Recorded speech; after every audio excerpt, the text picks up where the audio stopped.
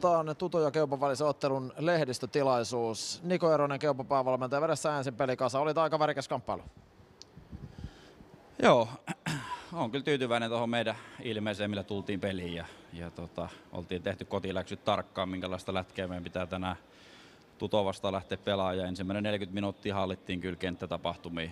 Ei päästetty Tutoa missään vaiheessa ykkösmaalintekopaikoille ja pystyttiin itse olemaan todella tehokkaita, kun niitä paikkoja tuli. Mutta sitten kolmannessa erässä, niin tota,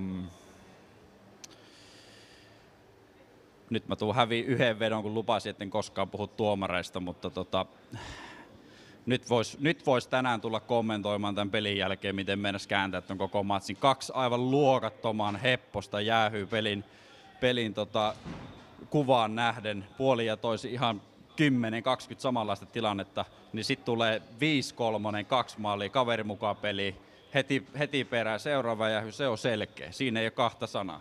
Mutta tota, kyllä nyt meni aika reisille siinä pari, pari tota, minuuttia niin tietyiltä herroilta, mutta hyvä näin, saatiin pidetty loppujen lopuksi sitten riittävä etumatka ja saadaan pisteet matka. Kiitos. Kiitos tästä sitten tutopäävalmentaja Antti Virtanen, sama homma, vetäsä peli kasaan.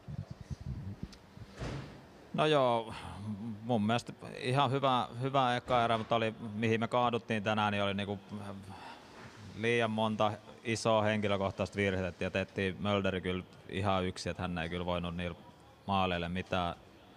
Sitten tämä kolmas erä oli ja lähdettiin siitä, että kotipeli ja ammatti ylpeys ja siinä sitten päästiin niiden ylivoimien kautta niin mukaan peli ja oli niin kuin lähellä jo, että oltaisiin päästy, siinä oli aika tärkeä koppi, koppi tota, no, että oltaisiin päästy maalin päähän, mutta tota, jos sä pelaat yhden erän, niin se, se ei ole enää aika harvoin riittää.